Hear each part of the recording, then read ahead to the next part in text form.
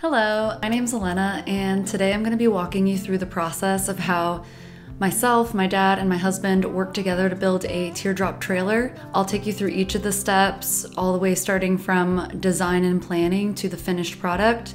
And I'll just talk about some of the stuff that I felt like we learned along the way that was helpful. I'll also try to list a lot of the products we used as I go along, and I'll provide any links that I have in the description. Before we even got started, we spent a lot of time thinking about what was the functionality that we wanted within the teardrop trailer, what we wanted it to look like, um, and just really pulling a lot of inspiration. We also thought a lot about what materials we wanted to use, and we decided pretty, pretty early on that we would do a mix of metal and wood. I spent a lot of time on Pinterest and Instagram looking at builds that other people had done and getting ideas for not only how it would look and the overall aesthetic of the teardrop trailer, but also some of the elements we want to incorporate that would make it super functional. All three of us were really drawn to that classic looking teardrop with the curved front and back. Once I had a good sense of the general design that I wanted to use, I started sketching out a bunch of concepts, and the three of us agreed on one that we were really happy with. I even put together a little prototype with a LaCroix box just for good measure.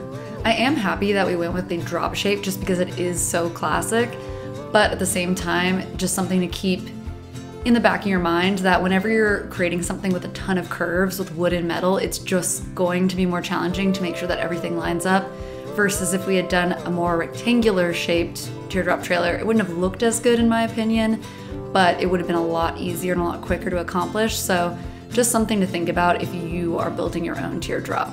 We considered buying a utility trailer that was already made or getting a kit of a bolt together one, but we really just couldn't find one that was affordable, really good quality, and also was the exact dimensions we wanted.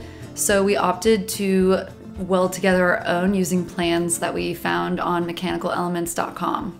Once we had a design that we were happy with, it was time to gather all the materials we needed. There are a lot of options out there for how you can go about building a teardrop trailer.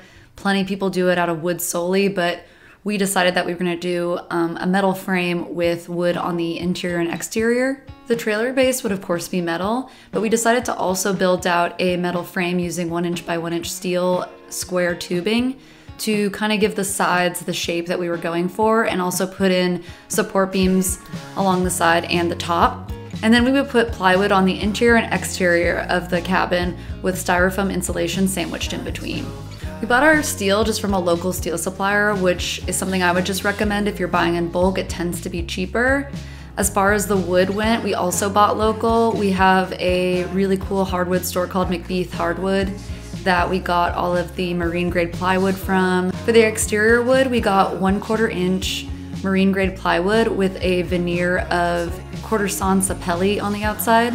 We just really liked how it looked and we loved like the beautiful striping that it created and thought it would be a really nice wood finish to the outside of the trailer.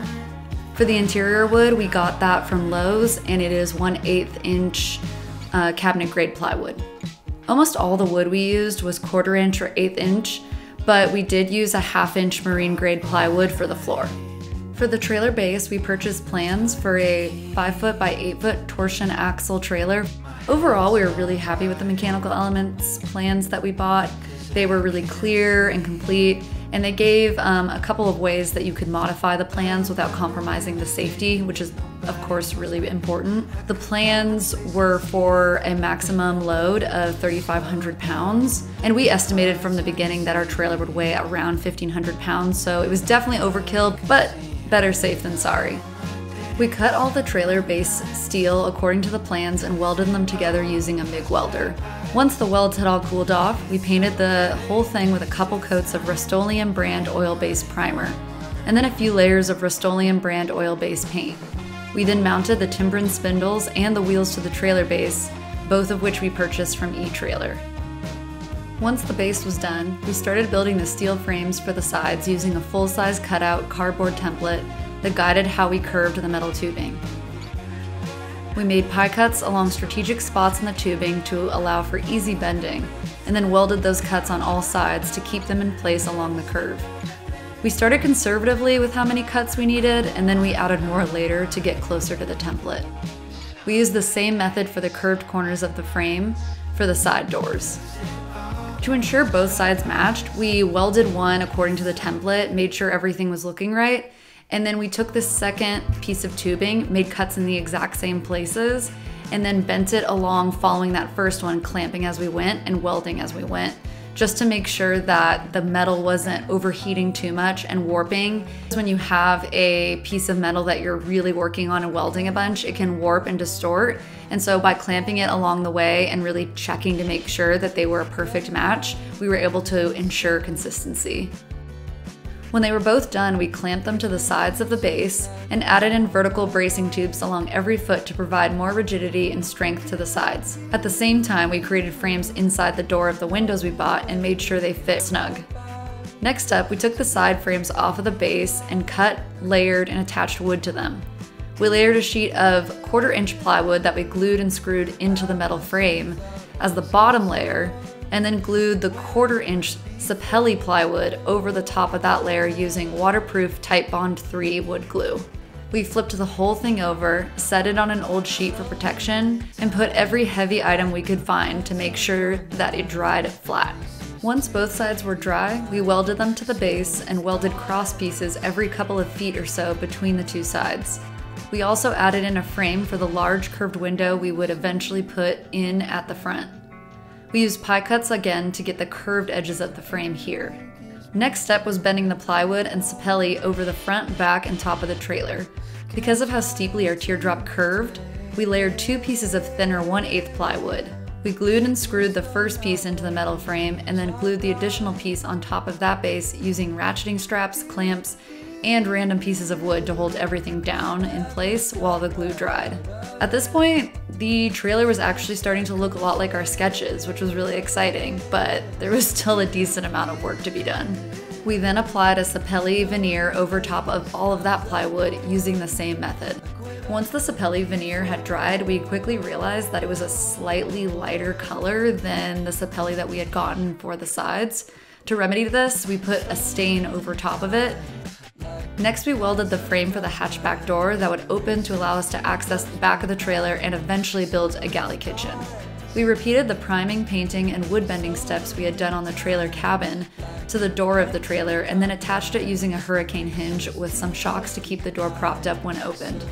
At this point, we also put in the front curved window, which was a sheet of quarter inch polycarbonate plastic.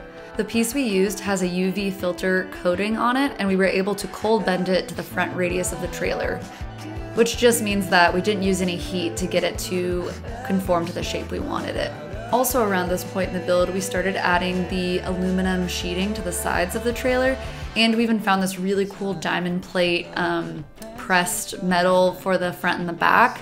It's not true diamond plate, but it still looks really cool and we thought it would help protect from little rocks flying up while we're driving. We also started running metal and like plastic edging over any seams that needed to be covered up um, just to weatherproof and also where the wall met the ceiling again just to make sure that no water was going to get in and the inside of the cabin would be completely protected from the elements. Next up, we ran the electrical wires through gaps in the metal frame at the bottom of the wall or drilled holes in the metal tubes to allow the wires to pass through. For the insulation, we used half inch styrofoam sheets that we easily cut with box knives to get each piece to fit perfectly into the space between the metal tubing. The insulation covered the walls, ceiling, and would eventually cover the floor. While doing the insulation, we made sure we cut out holes where we wanted the lights and the fan and other electrical elements to come out. So we started planning exactly where those things would sit. The electrical system was made up of many different components, and honestly, I could do a whole another video explaining more about what we did. But for now, I'll just give a brief summary. It all starts with a battery. In this case, we decided to go with Dakota lithium battery for the high power density, which means a smaller battery and a higher number of charge cycles, which equates to a longer battery life. This battery did come with a wall charger, but that would mean we would either charge at home before travel or rely on finding power at campsites. We wanted options for extended trips, so we installed two 100 watt solar panels on the roof. The solar panels we used were Top Solar flexible solar panels from Amazon. We had to create an entry point for the solar panel wires to enter the cabin near the top of the hatchback door. These wires connect to a Victron solar controller. Victron has a handy app that allows you to monitor a ton of information, like how much power the panels are generating, what the battery charge status is, and so on. All this info could be a bit much to try to understand at first, but once you use it and see the battery being charged live, you really get a hang of it pretty quickly. We also installed a Victron inverter. For our first trip, we just plugged in a power strip, but in the future, when the kitchen cabinets are finished, we will install those outlets so that we can charge larger devices with ease. Lastly, the whole system is run through a Victron Smart Shunt, which can be thought of as a fuel gauge of the system.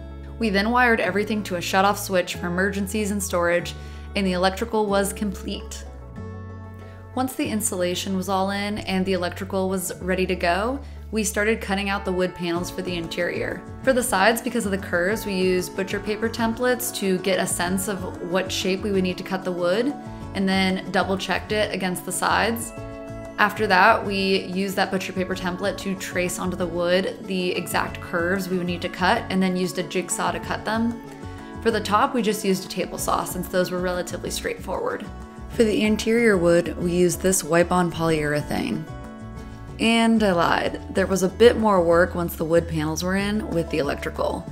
We soldered the wires of the fan and the lights to their respective wires on the wall and sealed off the solder area with plastic tubes and a heat gun.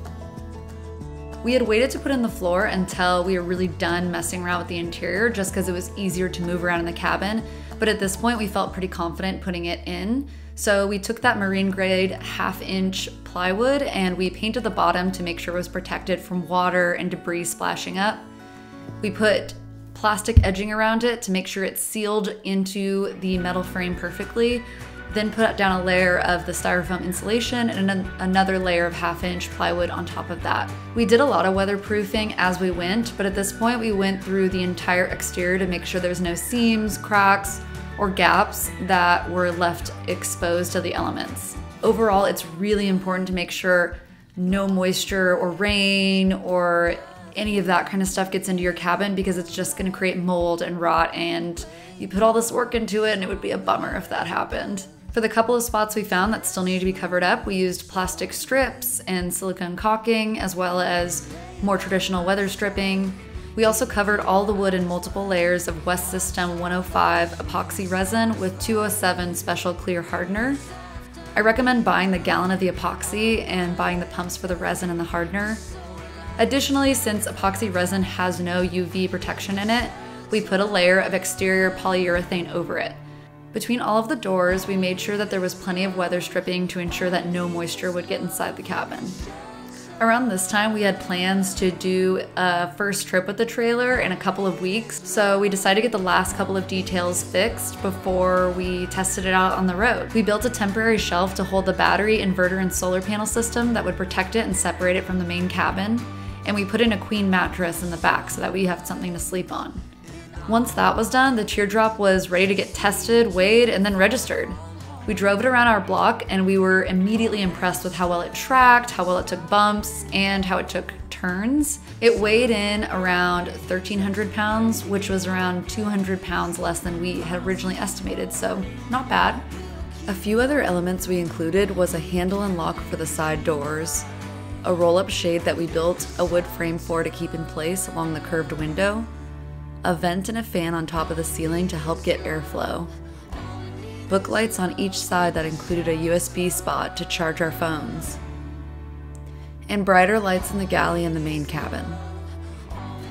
I can talk briefly about the DMV registration process that we went through in California, but if you're not in California, the best advice I can give you is do a ton of research beforehand regarding the rules in your state come with a lot of patience and have your forms already filled out. For registration in California, we applied and received a VIN number under the Specially Constructed or Modified Vehicle Registration process. Then we applied under the Permanent Trailer Identification process. Our total registration fee was $45 and it's valid for five years. So we were happy we designed the trailer to fit into these criteria. The trailer was now ready for the road.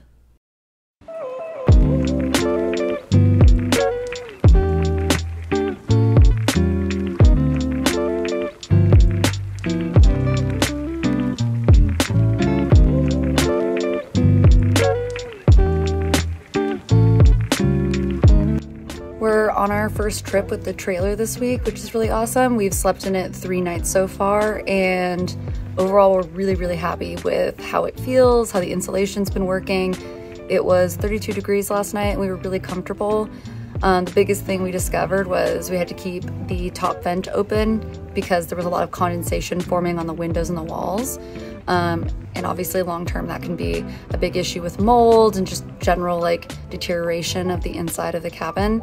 But besides that, it was really comfortable. I slept until 8 a.m., which never happens with camping. So huge improvement from tent camping for us. And yeah, really happy overall with how it's going three nights in.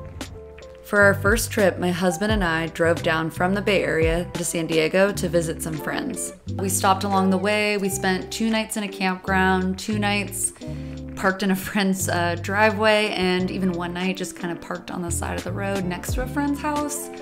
We still do plan on building out a kitchen, but we just couldn't resist now that it's registered and ready to go, taking it on a trip. So that will be the next project. The total cost from the start to this point came out to around 15 grand. Um, our original goal was to be under 10 grand, so we definitely surpassed that.